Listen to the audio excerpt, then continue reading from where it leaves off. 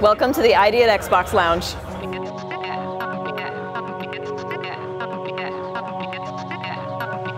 The ID at Xbox Lounge is where a bunch of indie developers gather to show off their latest games running on Microsoft's platforms. So there are tons of Xbox One X's all around here and of just a bunch of indie games.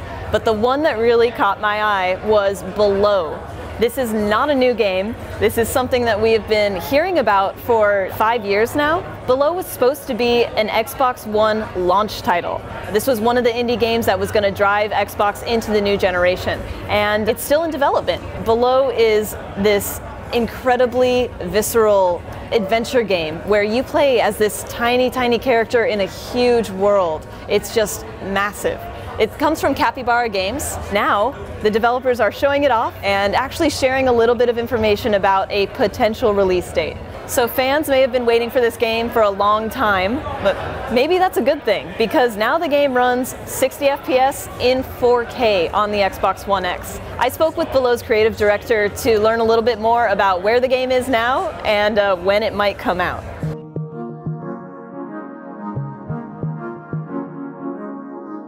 It's been in the oven for quite a while. It's just one of those games. It's pretty big, it's pretty complicated, and we've been just trying to uh, put as much uh, love into it as, as we can.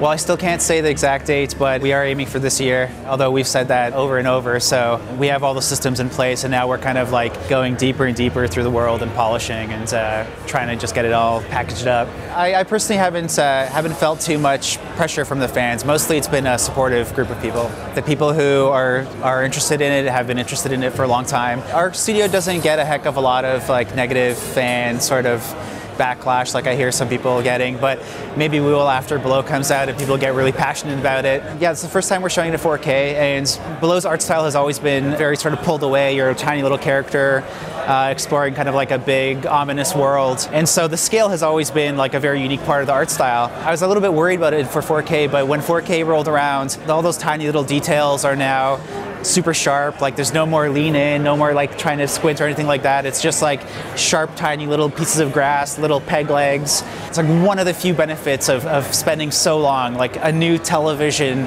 resolution has appeared in our developments. yeah, it feels good though. It has definitely been a, long haul for the whole team. I would never recommend such a long development for anybody. Even if you can, uh, it's it's a very tough tough thing to put yourself through. It's it's kind of uh, it takes its toll, that's for sure. I think Below is uh, is something uh, pretty special that we've been cooking up at, at Cappy, and it's for people who are just like interested in in games that are a little bit more quiet, a little bit more mysterious, uh, not a lot of hand-holding, not, not a lot of tutorials. It's very much a game that uh, we're asking players to sort of just get lost in it and, and to figure it out on their own.